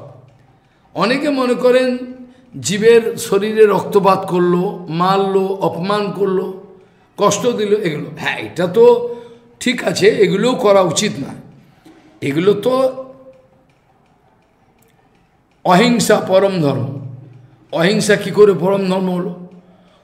অহিংসাটাকে তো এথিক্যাল ক্যারেক্টার হলো। এটা নৈতিক, এটা কাউকে আক্রমণ করা উচিত নয়, কাউকে কষ্ট, এটা তো নৈতিক ব্যাপার, স্বাভাবিকভাবে নৈতিক কর্তব্য। এটা কি করে ধর্ম হয়? ধর্ম কাকে বলে? এর মানেটাই তো ওরা বোঝেন না। ধর্ম মানে কাকে বলে? যাকে ধারণ করলে পরে আমি পার হয়ে যাব এই সংসার সমুদ্র। তারা এতটাই বাঁচান এ অর্থটাই তো বোঝেন না, ধর্ম কাকে বলে? ধর্ম বলেটা কাকে? যাকে ধারণ করলে পরে আমি পার হয়ে যাব, সেটা ধর্ম। গায়ত্রী কাকে বলে? যে গানটা গায়ত্রী গান করলে পরে আমি ত্রাণ পাব। যে গানটা করলে পরে আমি ত্রাণ পাবো, সেটা গায়ত্রী বলে। হ্যাঁ? গায়ত্রী। হ্যাঁ গায়ত্রী। মানে আমি গান করলে পরে, এই মন্ত্রটা গান করলে পরে আমি পার হয়ে যাব। সেটাকে গায়ত্রী বলে। জয়ন্তী কাকে বলে? যেটা জয় দেবে। অর্থাৎ যে শাস্ত্রের আশ্রয়েতে আমি বা যে ব্রতের আশ্রয়, যেমন কৃষ্ণ জন্মাষ্টমী ব্রত। হ্যাঁ কৃষ্ণ হ্যাঁ। এটা জয়ন্তী, কৃষ্ণ জন্ম জয়ন্তী। এটা হতে পারে। কেন? কৃষ্ণের ব্রত পালন করলে পরে আমি সংসার সিন্ধু পার রামায়ণ মহাভারত, ভাগবত ভাগবতজি মহাপুরাণ, যেগুলো গান করলে পরে আমি পার হয়ে যাবে জয়ন্তী বলা হয়। এটাকে বলে জয়ন্তী। বাকি সব কিছুকে বলা যায় না। এই জন্য সর্বভূতের দয়াটাকে প্রভুপাত বলছেন যে, তাদেরকে যদি কৃষ্ণ সেবার উন্মুখ করা যায় বা কৃষ্ণ সেবায় লাগিয়ে দেওয়া যায়, বাইরের দৃষ্টিতে কষ্ট। যেমন একটা বলদকে আমি পেটাতে পেটাতে আট ঘণ্টা, দশ ঘণ্টা আমার নিজের সুবিধের জন্য মাঠেতে কাজ করিয়ে নিলাম, পেটালাম। এটা জীবে দেয়া হলো না, এটা জীবে কষ্ট দেওয়া হলো। কিন্তু ওই বলত্তা যদি চার পাঁচ ঘণ্টা মঠের গোবিন্দের সেবার জন্য, ভগবানের সেবার জন্য কিছু তাকে সেবাতে লাগিয়ে দেওয়া যায় তেল ভাঙতে লাগিয়ে দেওয়া যে কোনো কিছু বলদকে, তাহলে সেটা তাকে সেবা লাগিয়ে দিলাম। গাধাটাকে আমি মাল বইতে ব্যবহার করি, তাকে চাবুক পেটা করলাম, কষ্ট দেওয়া হলো। একবার প্রতিবাদ করেছিলেন প্রভা প্রচণ্ড একটা কোন জায়গায় তাকে প্রচণ্ড প্রাণীগুলোকে কষ্ট দেওয়া হতো, মারত। প্রপাত প্রতিবাদ করেছিলেন। এটা উচিত নয়। খেতে দেবে না, কিছু না। যাই হোক, দেহের কষ্টটাকে জীবিংসা বলা যেতে পারে, কিন্তু গম্ভীর অর্থ যদি গ্রহণ করা হয়, জীবিংসা কাকে বলে? এটা হলো জীবকে ভগবৎ সেবার অনুকূলে না পরিচালিত করে ভ্রান্ত পথে পরিচয়, তাদেরকে কর্ম, জ্ঞান, যোগ বিভিন্ন বিষয়েতে প্রেরণা দেওয়া। আমি অনেক এরকম ঘটনা জানি ভগবানের ইচ্ছায়। একজন আচার্য, তিনি গৌরী মঠের নিন্দা করে চলে গেছেন, করোনা, করোনার শিকার হয়েছেন। যাই হোক, এখন বেঁচে নেই, সেই ব্যক্তির আর কী বলি? নাম বলারও কোনো প্রয়োজন নেই। তিনি যত জোয়ান জোয়ান ছেলে মেয়েদের দেখতেন, তাদেরকে কর্মেতে প্রেরণা দিতেন। কর্মে, ভক্তিতে প্রেরণা দিতে, তার নিজেরই নাই প্রেরণা। একজন কন্যা, তার বয়স কুড়ি বাইশ হবে। তার বাবার সঙ্গে এলো দেখা করতে। পরে খবর পেলাম তাকে এক ওই যে আচার্য মরে গেছেন, মারা গেছেন, তিনি প্রেরণা দিয়েছেন, তুমি এই যে কি বলে? এক এক ধরনের আর্ট আছে, এটাকে বলে কি বলে ওটাকে? ওই মডেলিং। আমি বলো কি? বলে হ্যাঁ উনি আমাকে প্রেরণা দিলেন, তুমি মডেলিং করলে তোমার উন্নতি হবে সে বেঁচে থাকলে পরে আমি তার কাছে যেতাম, এখন মরে গেছে, আর কোথায় যাব? কি আপনি কি মানুষ? একে মডেলিংয়ে দিয়ে দিলেন? ফিল্ম ইন্ডাস্ট্রিতে, মডেলিং ইন্ডাস্ট্রি চরিত্রহীন হয়ে যায় লোকে। আপনি ভক্তির কথা বলতে পারলেন না? এ কী ব্যাপার? একে বলে জীব হিংসা তাহলে এটাকে বলে জীব হিংসা তাহলে একটা উদাহরণ দিলাম কিরমভাবে বোঝা গেল? একটা উদাহরণ দিলাম। তাদের বোঝা গেল এটা জীব হিংসা ভয়ঙ্কর জীব হিংসা অর্থাৎ জীবকে ভক্তির রাস্তায় পরিচালিত না করে যদি কর্ম, জ্ঞান আদি নোংরা কোনো বিষয়েতে লাগিয়ে দিই, সেটি বাস্তবিক জীবিংসা অর্থাৎ এই শরীরের ভেতরে যে আত্মাটা আছে, সেটাকে অসৎ গতি করিয়ে দিলাম। আর এই শরীরটা, শরীরটার শরীরটার জন্য, জীবের শরীরগুলোর জন্য ওষুধপত্র খাওয়া দাওয়া এইসব যদি করলাম, এটাকে প্রপাত বলছে এগুলো খোলার সেবা। এই যে যে যে খোলাটা, এটা খোলার সেবা। এটাকে বলে খোলার সেবা। প্রপাত বলছেন যে এই মূর্খগুলোর বিচার এরকম। কীরকম বিচার? এই মূর্খগুলোর এই মূর্খগুলোর বিচার হলো মানুষটা জলে ডুবে যাচ্ছে। আরে মানুষটা জলে ডুবুক, আপত্তি নেই। কিন্তু তার দাম, তার যে দামি জুতোটা এবং কাপড়টা ওটা বাঁচিয়ে ফেল। এই হলো ব্যাপার। মানুষটা মনে মনে, আপত্তি নেই কিছু। কিন্তু তার দাম, দামি কাপড়টা এবং তার দামি জুতো, চশমা, এগুলো সব বাঁচা, এগুলো বাঁচাও এই হচ্ছে আমাদের মূর্খ সমাজের বিচার। জীবে প্রেম করে যেই জন, সেই জন সে বিজয় ঈশ্বর এরা এবার সারা জগৎ জুড়ে সম্মান পায়। কি করে যে হয় এত বড় মিথ্যে কথা বলে, কে জানে? ভগবান জানেন, এরা বেঁচে আছে কি করে? কাজেই বলছেন, সর্বভূতে দয়া করি।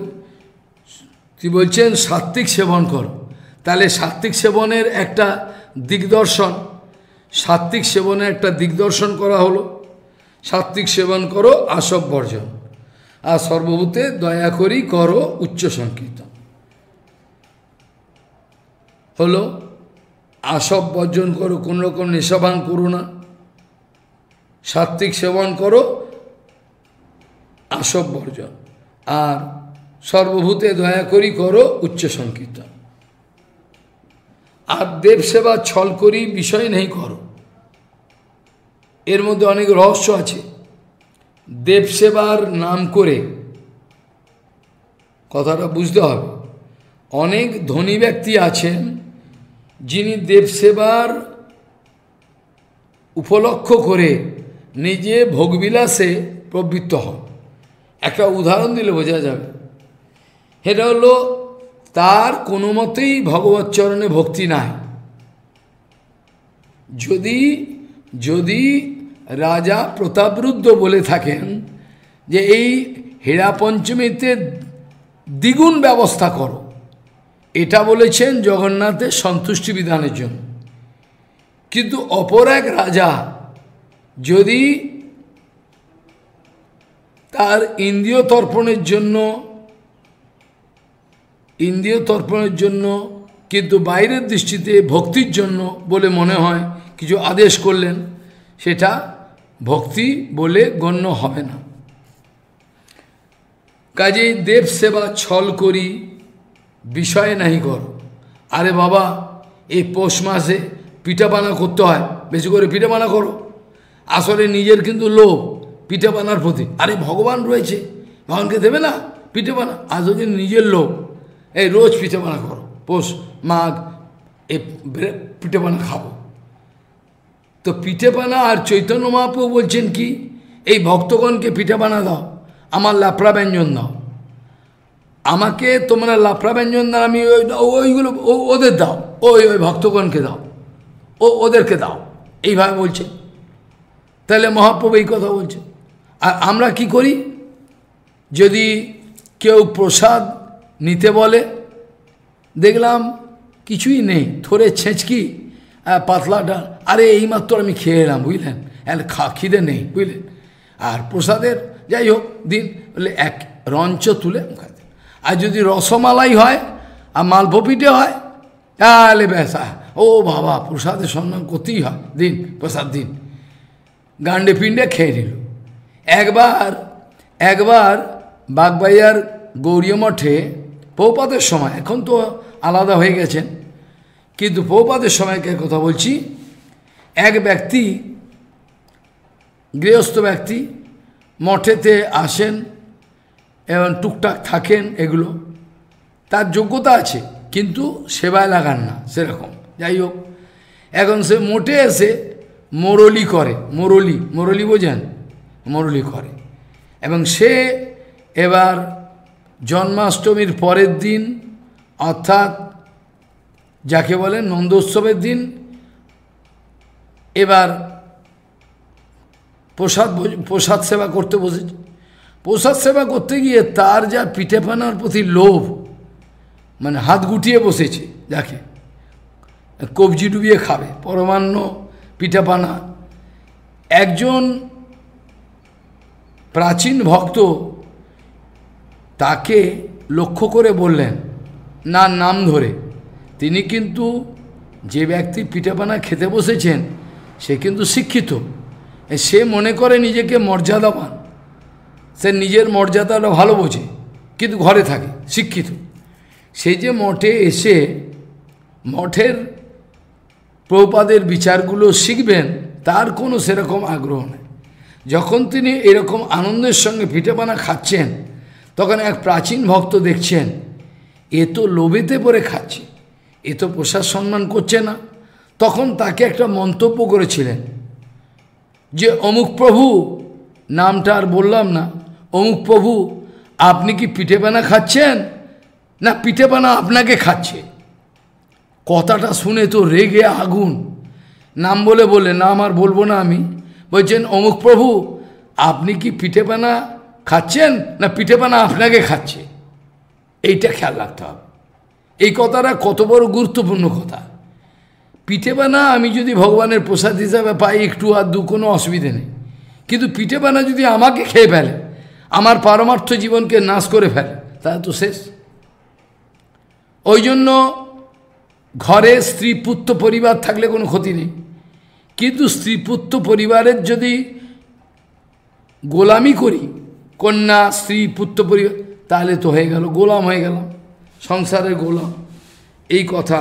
কাজেই জগদানন্দ পণ্ডিত বলছেন, অনেকেই দেবসেবার লক্ষ্য করে, এই যেমন একটা উদাহরণ দেওয়া যায়, গৌরাঙ্গ মহাপু সেবাতে, গৌরাঙ্গ মহাপু চৈতন্য মহাপু নয়, চৈতন্য মহাপু অবস্থা নয়, গৌরাঙ্গ মহাপ্রভুর সেবাতে নবদ্বীপের ওই পারে লোকেরা তাম্বুল সেবা করে, পান পান সেবা করে। তাদেরকে বলতে গেলে বলবে, এটাও তো প্রসাদ। প্রপাত বলতেন, এরা গৌরাঙ্গ মহাপেকে ভোগ ভোগ দেওয়ার নাম করে এরা বিষয়েতে মরতে হয়। তাহলে বোঝা গেল একটা উদাহরণ। এরা গৌরাঙ্গ পান সেবা দেয়। আমাদের গৌরী গৌরী মঠে দেয় না দরকার প্রয়োজন ওরা দেয়, এটা উপলক্ষ করে। এটা উপলক্ষ করে দেয়।